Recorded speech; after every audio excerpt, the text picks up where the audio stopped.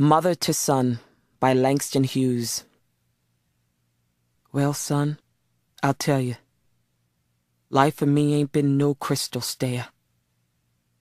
It's had tacks in it, and splinters, and boards torn up, and places with no carpet on the floor, bare. But all the time I's been a climbing on, and reaching landings, and turning corners, and sometimes going in the dark where there ain't been no light. So, boy, don't you turn back.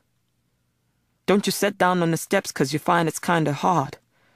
Don't you fall now, for I's a still going, honey. I's a still climbing.